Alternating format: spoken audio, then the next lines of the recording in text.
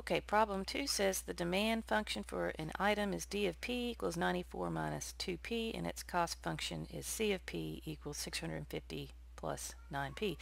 Now notice this time um, what's in this parentheses is p and so remember the first thing we have to do is establish what our independent variable is because it needs to stay independent throughout the series of functions that we're going to write.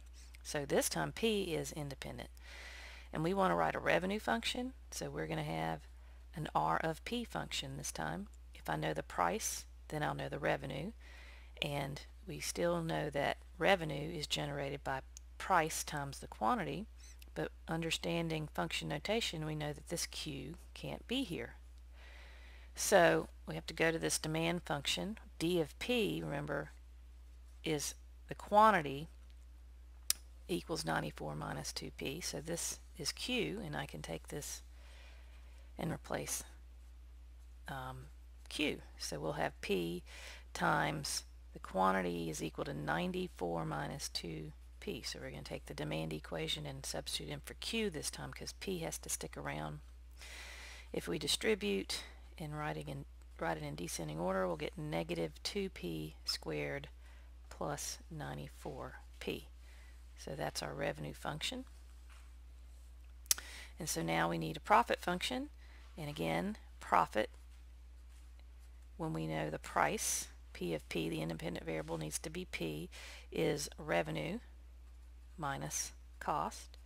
And everything needs to be in terms of P, so I have an R of P function I can use.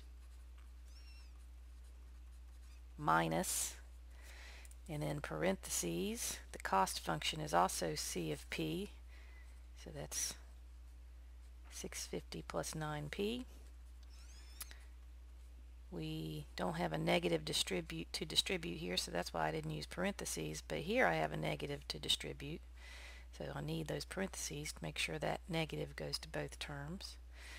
And then adding like terms, I have negative 2p squared 94p minus 9p is positive 85p minus 650.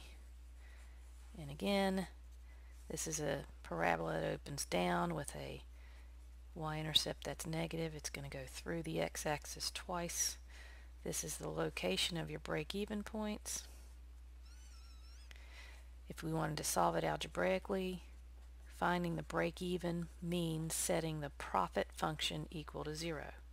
And so that's a quadratic that you could solve using the quadratic formula. Now we're going to use Excel, but remember goal seeking gives you some rounding error sometimes. So if you wanted to check the exact answer, you could use quadratic formula and get the exact um, break-even values. Okay, problem two is like problem one, except for this time my price is independent.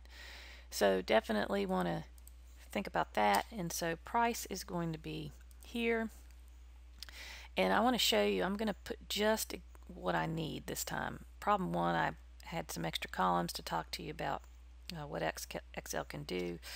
Um, but I am just going to cut to the chase here. I am going to put my demand Q in here because there could be questions where um, I want some information about the quantity. And so I'm going to put that in there, but I'm going to not put revenue in and I'm not going to put cost in. This time I'm just going to put my profit function in. So my demand Q is 94 minus 2 times P and my profit function is negative 2 times P squared plus 85 times P minus 650. And the domain, I'm going to count by ones this time and I'm going to keep looking at my profit function to see where items change from negative to positive and right here it changes from negative to positive and then it's not changing from negative to positive here so I don't want to create a huge uh, amount of value so I'm going to count by twos and see if I can there we go find a place where it changes from negative to positive. and so now I'm going to find my break-even points um, but first let's graph it. So remember we're going to grab column A, let go of everything, hit control, grab profit, let go, insert, scatter, and again, you could hit layout one, but for time's sake, I'm not going to. Here's my profit function. My guess numbers, if you look here, we know that one of the answers is 10. And then my second guess number, if you look here, it's between 32 and 34, so I'm going to put 33. You could also look at your graph. And I'm going to goal seek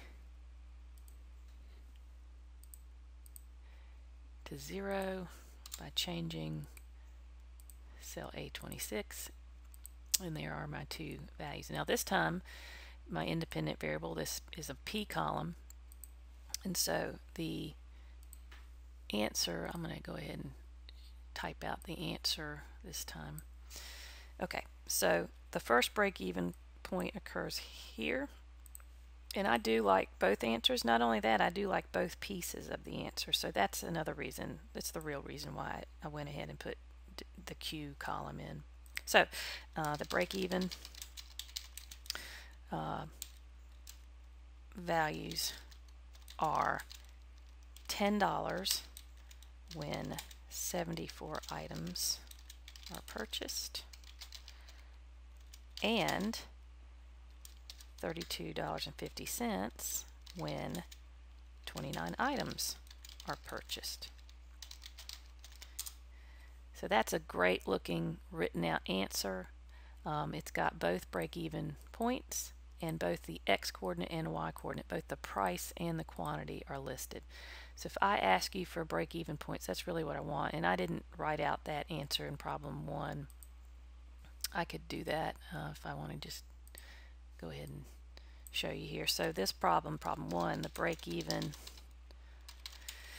uh, values are 1.67 items this time at $160 and 11.25 items at $45. So that's those are really good complete answers there.